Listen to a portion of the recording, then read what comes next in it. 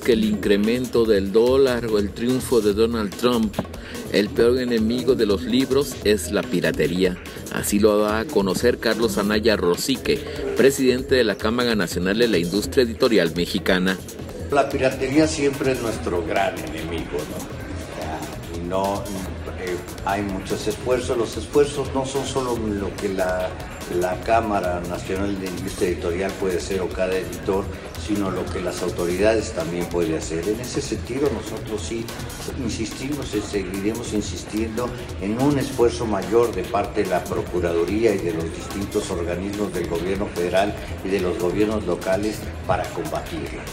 En todos los sentidos, a través de campañas bueno, nosotros aquí, si ustedes ven hoy en la Feria del Libro de Guadalajara, eh, eh, hablamos de piratería y de robo y estamos poniendo los letreros que dicen robarse un libro es un delito.